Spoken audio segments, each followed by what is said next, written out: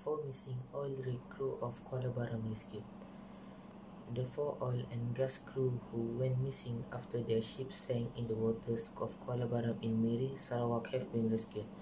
Malaysian Maritime Enforcement Agency MMEA Director General Admiral Datuk Muhammad Zubil Mat Som said all missing crew were found safe about 9 am from the location where the incident was reported.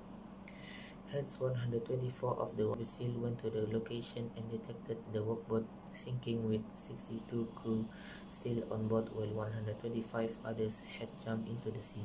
Several assets comprising three vessels and a Maritime Malaysia boat as well as seven vessels and a boat belonging to Petronas and Shell were dispatched to the location. Three go.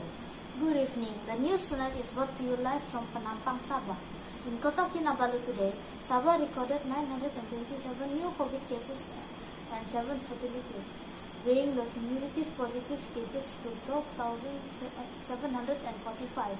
The state also registered a new cluster in Kudat, namely Kapro cluster, with 46 cases. The public are constantly reminded, reminded to stay at home. In Baluran, a trailer has evacuations in Southern California and two and left two firefighters badly injured on Monday. As hundreds of thousands of residents injured, a second day of power shutoff meant to counter heightened fire risk from gusty, dry weather. Let us hope that the disaster will subside soon. This is all for is Nelson and the for you. I take my hat off to Lewis Hamilton, says Nico Rosberg. Nico Rosberg held Lewis Hamilton record 92nd Formula One wins and sporting launch VT as a great achievement on Tuesday but says the way the Britain was using his platform to raise awareness for global issues was just as important entering teams. One thing is is being at the level that he's at just a phenomenal driver but then to stick in there year in year out stay at the high level and be the guy to beat every year and still dominate that's just so hard says Nico Rosberg Assalamualaikum and good evening. Kota Kinabalu. Six new COVID-19 quarantine centers have opened in Sabah as the state detect 10 new positive cases.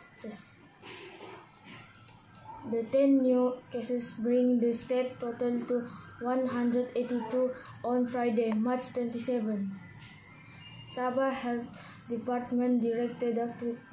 Dr. Christina Rundi said the new cases are from Kota Kinabalu, two cases, Tawau 3, Kunak 2, Putatan 2, and, and Buf observe social distancing as well as good hygiene.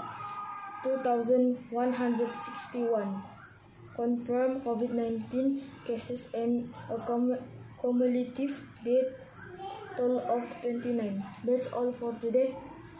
Thank you. I am Mikhail and you are watching today's news.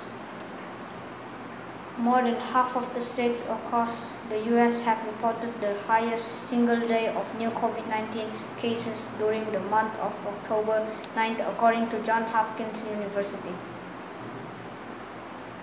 WHO's Director General said Australia's Victoria State reported no news cases in the past 24 hours for the second by 27% for women as the amount of drug-related deaths in England and Wales have been reached as by the Office of National Statistics statistic showed the increase of male death was substantially lower and 8%, but overall deaths involving cocaine rose for the eighth successive year.